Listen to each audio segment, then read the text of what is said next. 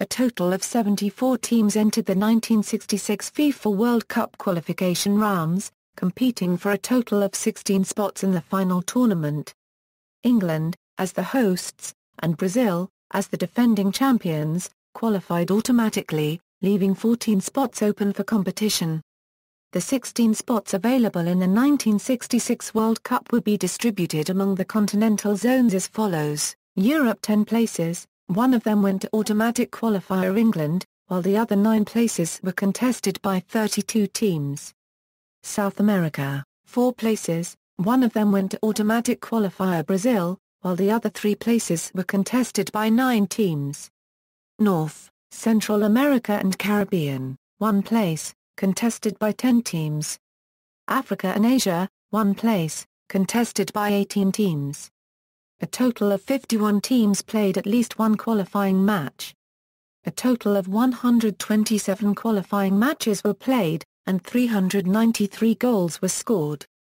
Listed below are the dates and results of the qualification rounds.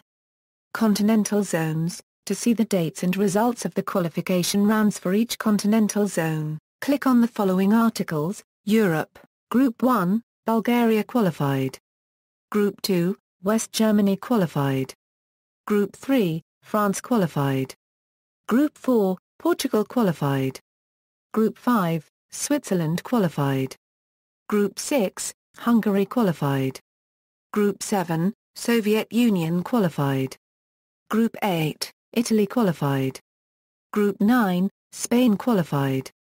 South America, Group 1, Uruguay qualified. Group 2, Chile qualified. Group 3, Argentina qualified.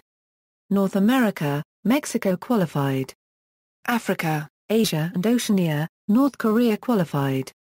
Qualified teams The following 16 teams qualified for the 1966 FIFA World Cup, H, qualified automatically as hosts, C, qualified automatically as defending champions.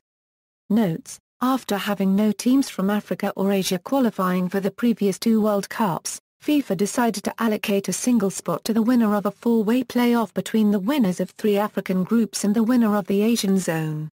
However, the African teams believed that winning their zone should have been enough to go straight through to the final tournament, and all of them withdrew in protest.